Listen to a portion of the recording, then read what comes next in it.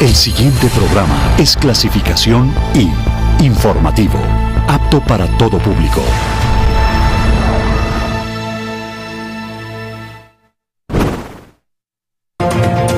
Noticiero Ciudadano.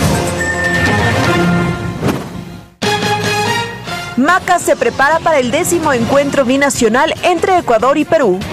Juegos ancestrales se realizarán en Santa Elena. La provincia de Cotopaxi es un lugar donde la historia sigue latente. Y en lo internacional, ex primer ministro portugués Antonio Guterres es el sucesor de Ban Ki-moon.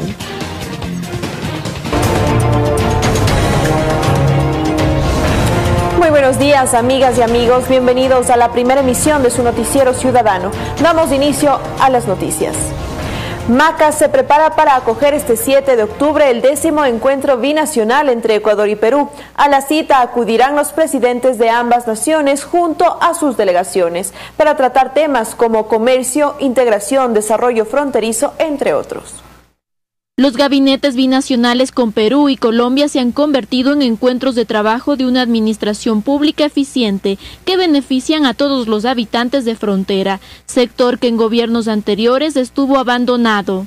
Esta vez Macas recibe el décimo encuentro al que asistirán los presidentes de Perú, Pedro Pablo Kuczynski, y de Ecuador, Rafael Correa, junto a sus delegaciones para revisar las acciones logradas y establecer nuevos retos. El noveno gabinete se desarrolló el año pasado en el mes de diciembre en la ciudad de Jaén, donde se trabajó en cinco ejes. Estos ejercicios han dado grandes resultados en la zona de frontera. La Revolución Ciudadana ha invertido siete veces más en esta zona que todos los gobiernos anteriores juntos desde la firma de la paz. Sobre todo en construcción de infraestructura de salud, infraestructura educativa. Este trabajo se ve reflejado en la mejora de la calidad de vida de sus habitantes. Un ejemplo es en el área de salud. Hemos ido llevando alrededor de 10 mil peruanos, se han operado en Ecuador, por eso es que nosotros consideramos que es oportuno hacer llegar nuestro gesto de gratitud a ustedes, hermanos del Ecuador. Otra de las estrategias son las acciones cívicas binacionales multisectoriales, las cuales han beneficiado a 9 mil personas. Positivo, nos ventaja en todo, en todo, menos este, delincuencia en Ecuador eh, más organizado, cultural y económicamente creo que nos, nos aventajan. Yo tuve un accidente y estaba propenso a perder, a perder las dos vistas. Me fui a Lima y me pusieron muchas trabas para operarme de las dos vistas. Gracias al gobierno del Ecuador, bueno, fui operado en, en Machara. En el sector seguridad hasta septiembre de 2016 se ha ejecutado 94% de las actividades programadas y se ha dado cumplimiento del 100% de un total de cuatro acuerdos y tres entendimientos. Sin duda, estos encuentros son reuniones que se han ido perfeccionando con indicadores de avance y metas cuantificables, las cuales se reflejan en el bienestar de los habitantes. Caterine Morejón, Noticiero Ciudadano. Mediante su cuenta de Twitter, el presidente Rafael Correa anunció el resultado del informe final especial de la Contraloría General del Estado, que incluye que la evolución del patrimonio del mandatario obedece al aumento de activos financiados de forma legítima dentro de su sociedad conyugal. El presidente de la República, Rafael Correa, informó por medio de su cuenta de Twitter que recibió el informe final especial de la Contraloría General del Estado. De acuerdo con el informe, se concluye que la evolución del patrimonio obedece al aumento de activos financiados con los ingresos legítimos de la sociedad conyugal, por lo que no encontramos elementos objetivos que sustenten un incremento patrimonial no justificado. El primer mandatario recordó que la obligación del examen es al final de gestión. Sin embargo, frente a las declaraciones de ciertos asambleístas de que era necesario hacer auditorías a los miembros del Ejecutivo, solicitó un examen especial. Cristina Pavón, Noticiero Ciudadano. Contamos que dos jueces salieron del Tribunal Contencioso Electoral a través de un proceso de sorteo. Los jueces Angélica Veloz y Guillermo González saldrán del Tribunal Contencioso Electoral como parte del proceso de renovación parcial que lleva adelante el Consejo de Participación Ciudadana y Control Social. Esta entidad realizó hoy el sorteo en presencia del notario Jorge Valareso. Actualmente estos funcionarios se encontraban en funciones prorrogadas. Esta es la primera renovación parcial que se realiza de la institución. Tiempo de hacer una primera pausa. Al volver le contaremos de qué se tratan los Juegos Nacionales Ancestrales que se realizarán en Santa Elena.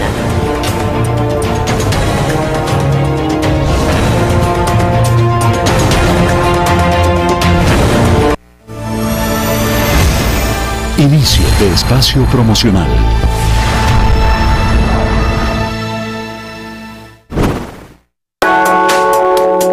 Este 7 de octubre, no se pierda la transmisión especial del décimo gabinete binacional Ecuador-Perú. Los presidentes Rafael Correa y Pedro Pablo Kuczynski, junto a sus ministros, se reúnen en Macas, provincia de Morona, Santiago, para profundizar en los temas de desarrollo bilateral, un espacio para el intercambio entre los pueblos y el engrandecimiento de la patria grande. 7 de octubre. Sea testigo de este importante encuentro por Tele Ciudadana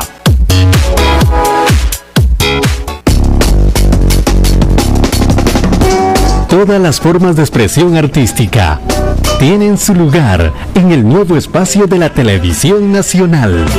Expresarte. Dentro tu pecho guardas.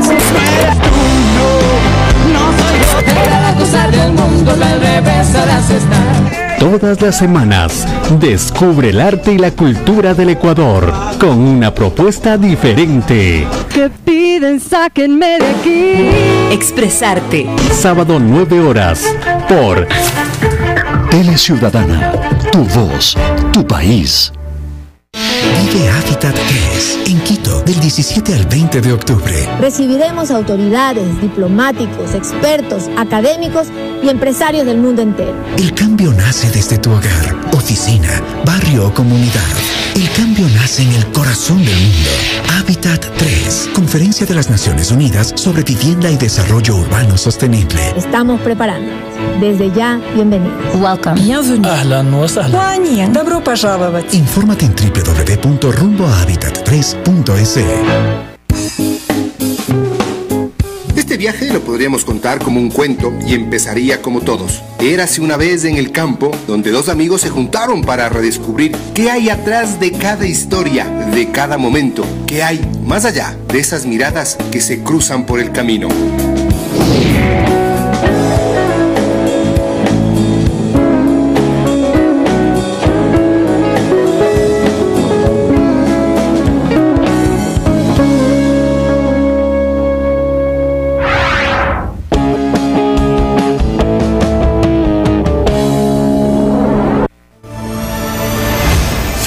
Espacio promocional.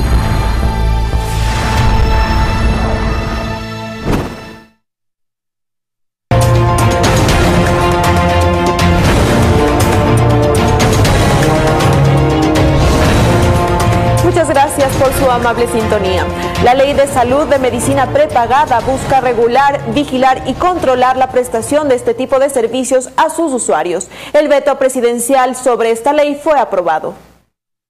La Comisión de Derecho a la Salud de la Asamblea Nacional aprobó hoy al veto del Ejecutivo al proyecto de ley orgánica de salud integral prepagada. Esta normativa pretende proteger los derechos de los usuarios, además de regular y controlar el funcionamiento de las compañías de seguros que ofertan este servicio. La Junta Monetaria Financiera sea la que revise los estados financieros, los estados de resultados de las empresas y luego de que ellos presenten estos estados pueda resolverse cuánto es la utilidad neta que generan y cuánto en beneficio pueden dar a sus usuarios. La mesa legislativa aprobó el informe con tres votos a favor y una abstención. La norma obliga a que las empresas de medicina prepagada y seguros médicos cumplan con la responsabilidad adquirida con sus 900 mil usuarios y evita discriminación con los mismos. Tienen por qué automáticamente los 65 o subirle los montos o simplemente negarle. La ley permite, entre otras cosas, regular, vigilar y controlar la prestación de este tipo de servicios. Fija las facultades y atribuciones para establecer y aprobar el contenido de los planes y contratos de atención integral de salud prepagada y de seguros en materia de asistencia médica. Carolina Díaz, Noticiero Ciudadano. 500 nacionalidades del país participarán en los Juegos Nacionales Ancestrales que se realizarán en Santa Elena. El Festival Nacional de Juegos Ancestrales y Populares se realizará por primera vez en el país.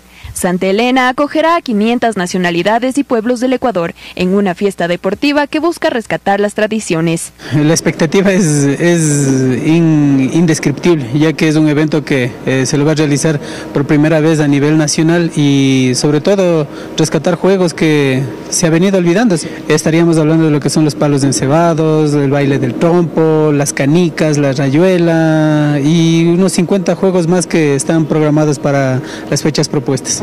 Esta es una verdadera fiesta donde cada uno de nosotros y nosotros vamos a tener la oportunidad de intercambiar, de vivir nuestra interculturalidad con nuestras raíces, con nuestras cosmovisiones. Javier Enderica, ministro del Deporte, manifestó que el evento fortalecerá la unión y la esencia cultural. El deporte es justamente la unión, la unión de poder compartir con todos nuestros pueblos, nuestras nacionalidades. No queremos perder nuestra esencia, no queremos perder nuestra cultura, no queremos perder nuestra hermandad.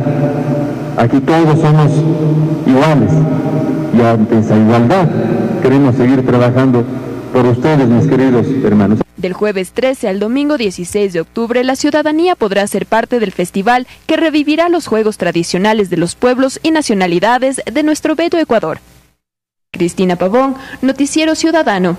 Al concluir el noveno mes del año, el Instituto Nacional de Estadísticas y Censos, INEC, presentó los datos sobre la inflación en el Ecuador. En el mes de septiembre, la inflación del país se ubicó en 0.15%. Así lo dio a conocer este jueves el Instituto Nacional de Estadísticas y Censos. Según los datos proporcionados por el INEC, el costo de la canasta básica pasó a 691 dólares con 38 centavos, mientras que el ingreso mensual familiar es de 683 dólares con 20 centavos. De esta manera, la inflación acumulada en los nueve meses es de 1.19% y la anual 1.30%. El transporte y la educación fueron los dos rubros que más aportaron para la variación de la inflación de septiembre. En tanto que las ciudades de Cuenca, Manta, Esmeraldas y Ambato son las que presentaron una alteración superior. Si se compara con los otros países de la región, Ecuador registra una inflación anual inferior a Perú, Bolivia, Colombia, Paraguay, Chile, Brasil y Uruguay. Es tiempo de hacer una nueva pausa, quédese con nosotros porque al volver conoceremos un poco más de Cotopaxi.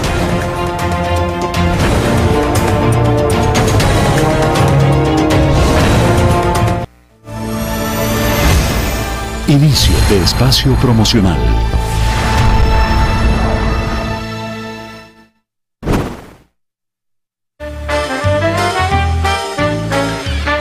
Hola, hoy vamos a hablar de la responsabilidad y para darte un ejemplo te voy a contar la historia de Florence Nightingale, una enfermera responsable. Hace mucho tiempo, antes de la Primera Guerra Mundial, los hospitales eran muy diferentes a los de hoy. Carecían de elementos básicos para el cuidado e higiene de las personas. Nightingale desde muy joven sintió la necesidad de servir a los demás y con ayuda de sus padres viajó a Egipto y Europa para aprender a atender a los enfermos. En esos días se desató una guerra en los países europeos y los hospitales se llenaron de heridos. Florence se enlistó para brindar ayuda a los enfermos, pero a pesar de sus esfuerzos, muchos de ellos morían por las infecciones que contraían por falta de acero. Florence sentía mucha tristeza y decidió responsabilizarse por lo que sucedía e hizo todo lo que estuviera en sus manos para cambiar esta situación. Juntó a un grupo de señoritas a las que les enseñó cómo curar las heridas, alimentar a los enfermos y ayudarlos emocionalmente. Presentó autoridades un estudio en donde demostró que más personas morían por la falta de higiene en los hospitales que por sus heridas de guerra. Con esos datos, las autoridades pusieron manos a la obra y adecuaron mejor los hospitales. Gracias a esto, Florence y su grupo de enfermeras salvaron la vida de más de 5.000 heridos de guerra. Por este motivo, es ahora considerada la pionera de la enfermería moderna. Tú también puedes ser una persona responsable, esforzándote por ayudar a todas las personas que te rodean. Cómo crees que debería ser la labor de los medios de comunicación. Los medios de comunicación deberían dar programación más informativa a las personas que destructiva. En la televisión deberían pasarse programas totalmente educativos. Por ejemplo, hay canales o medios que yo no, no me gusta usarlos porque son muy crónica roja, muy negativa. El trabajo de ellos debería ser influir positivamente en la gente, transmitir eh, ideas positivas. Debería ser algo más concreto y preciso para que la gente lo pueda entender y cada uno pueda sacar su opinión sobre esto. Dar una información veraz y, y correcta deberían como que enfocarse más a lo positivo, informar pero de una manera neutral. Y participación de todos los estratos de la sociedad. Tu voz tiene poder y Ecuador la escucha. Cordicom garantiza tu libre expresión, siempre con responsabilidad y con respeto a nuestra diversidad. Descubre el poder de tu voz. Cordicom, la voz de tus derechos. Este 7 de octubre, no se pierda la transmisión especial del décimo gabinete binacional Ecuador-Perú. Los presidentes Rafael Correa y Pedro Pablo Kuczynski, junto a sus ministros, se reúnen en Macas, provincia de Morona, Santiago, para profundizar en los temas de desarrollo bilateral, un espacio para el intercambio entre los pueblos y el engrandecimiento de la patria grande. 7 de octubre.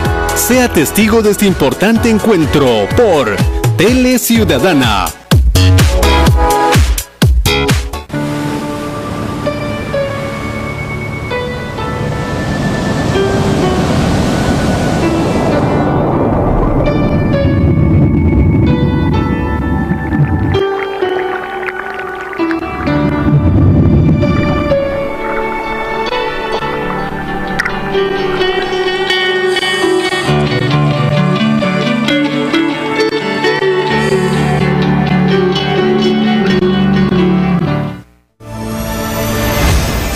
espacio promocional.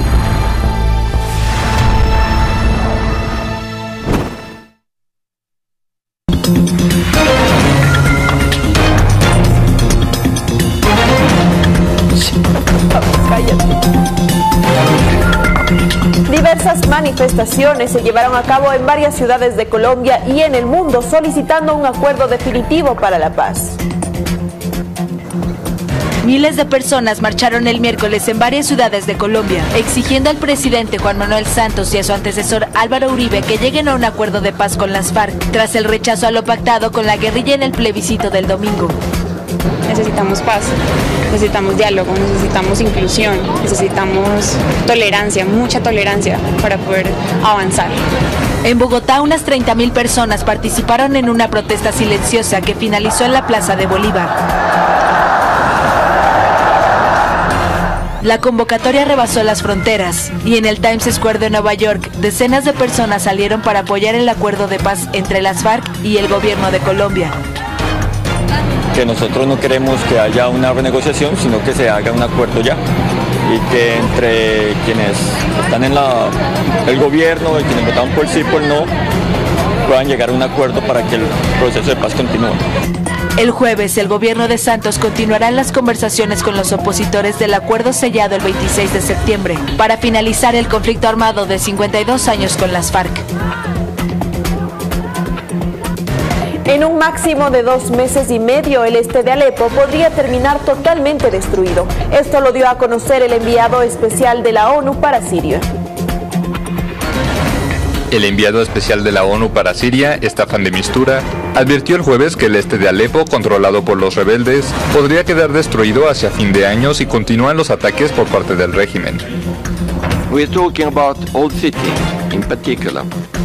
Estamos hablando de la ciudad vieja en particular. Miles de civiles sirios no terroristas serán asesinados y muchos de ellos heridos. Miles y miles de ellos podrían tratar de convertirse en refugiados para escapar. 275 mil.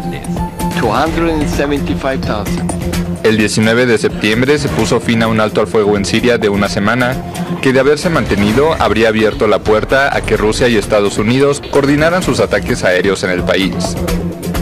El gobierno de Bashar al-Assad lanzó el 22 de septiembre, junto a Moscú, una ofensiva para reconquistar los sectores rebeldes en Alepo que reciben el apoyo de Washington. Mistura informó que los bombardeos dejaron 376 muertos y más de 1.200 heridos desde el 23 de septiembre. Alepo, al norte del país, se ha convertido en el principal frente del conflicto sirio. Más de 1.300 personas han muerto desde 2011 por la guerra en Siria, la cual creó la peor crisis humanitaria desde el fin de la Segunda Guerra Mundial. El secretario general de las Naciones Unidas, Ban Ki-moon, calificó de excelente la elección del ex primer ministro portugués Antonio Guterres como sucesor ante el organismo. Antonio Guterres será el nuevo secretario general de Naciones Unidas. El ex primer ministro portugués ha recibido hoy el respaldo del Consejo de Seguridad tras superar a sus 13 rivales en las votaciones previas y sustituirá a Ban Ki-moon como máximo dirigente del organismo internacional. Con 67 años, Guterres cuenta con una dilatada carrera política en el seno del Partido Socialista Portugués y además ha estado al frente de la Agencia de la ONU para los Refugiados. El relevo se producirá en enero. El gran reto de su mandato será la reforma institucional de Naciones Unidas, incluyendo el funcionamiento del Consejo de Seguridad. Miles de armas fueron fundidas en Chile. Esta es la mayor destrucción de armas que se ha hecho desde el año de 1990 a la fecha.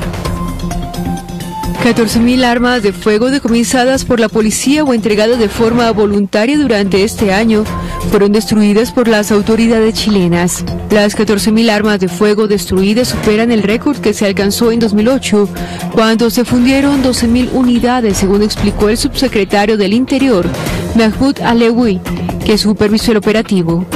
Esta es el mayor, la mayor destrucción de armas que se ha hecho desde el año 90 a la fecha. Han destruido en, en todo el periodo 125.000 armas y estas son 14.000, o sea, equivalen casi al 12% de todo el periodo. Del total, casi 9.000 armas fueron decomisadas por la policía y los tribunales, mientras que más de 5.000 fueron entregadas voluntariamente en el marco de una campaña impulsada por el gobierno y carabineros para reducir la cantidad de armas sin inscripción legal. Alawi destacó que las armas entregadas voluntariamente suponen este año el 36% del total, el doble en comparación con el año pasado. Estos decomisos han permitido, la entrega voluntaria también, han, de, han permitido que en comparación con el año pasado, los delitos de mayor connotación social donde se usan armas hayan bajado un 6,3%. El armamento fue fundido y el acero obtenido se utilizará para la construcción del nuevo Aeropuerto Internacional de Santiago. Retomamos el ámbito nacional y nos trasladamos a la provincia de Cotopaxi, un lugar donde la historia sigue latente y que además se proyecta al desarrollo gracias al esfuerzo de sus habitantes. En la provincia del Cotopaxi, ubicada al centro norte del país, se encuentra el Cantón Pangua, formado en 1938, en el corazón de los Andes ecuatorianos. Conocido como el paraíso escondido del Cotopaxi, Pangua alberga maravillas naturales como las chorreras del Zapanal, siete saltos de agua en medio del bosque húmedo tropical que invitan a sus visitantes a disfrutar de la aventura y el relax. Aquí estamos en la parte tropical del Cotopaxi. Es muy bonito porque conecta ya al frío y que conecta también a la parte costa de, del sector. No en todo sitio hay unas cascadas como esta. Esta agua es algo, algo increíble, algo natural y tiene mucha energía. Como guía y nativo de aquí del sector, quiero que la gente de este país conozca el sector, que venga acá, nos visite. El bosque nublado de la Maná, en el cantón vecino, es un patrimonio natural de 110 hectáreas un refugio de fauna y flora donde practicar la observación de aves y el ecoturismo que desde la reserva y Acusinchi se esfuerzan por conservar. Lugares así ya están quedando pocos en el planeta y es muy importante que se sepa que en el Ecuador aún existen estos sitios y que estamos interesados en la preservación de esto. La Tacunga, con cerca de 100.000 habitantes, es la capital de la provincia de Cotopaxi y una de las principales ciudades del país. Declarada Patrimonio Cultural del Estado, la Tacunga obsequia al turista con un paseo histórico por sus numerosos monumentos y conjuntos arquitectónicos. Y es en esta ciudad donde se puede seguir el rastro de una destacada mujer de la etapa de la ilustración en nuestro país, Manuela Espejo, hermana del prócer Eugenio Espejo. La biblioteca de la Curia en La Tacunga guarda la prueba documental del paso de Manuela por esta provincia, cuando la muerte de Eugenio llegó acompañando a su hermano Juan Pablo, patriota y sacerdote, para ayudarlo en sus desempeños. Y así llegamos al final de la primera emisión de su noticiero ciudadano. Nos volveremos a encontrar hoy a las 13 horas.